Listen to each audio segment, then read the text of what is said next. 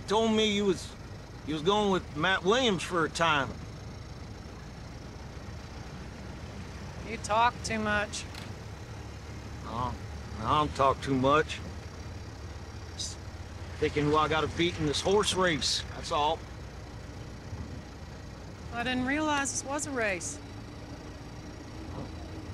I don't care for watching horses. Well, I'm a different kind of horse. On kashi.